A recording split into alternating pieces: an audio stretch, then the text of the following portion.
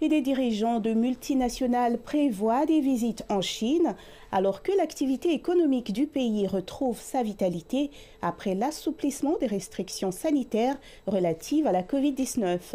Le PDG du constructeur automobile allemand Volkswagen, Olivier Blum, a été parmi les premiers poids lourds industriels à se rendre en Chine de fin janvier à début février.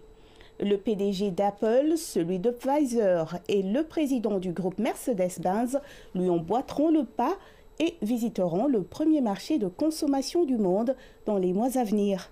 Un plus grand nombre d'employés de niveau intermédiaire sont tenus par leurs entreprises de se rendre en Chine pour y étudier les affaires.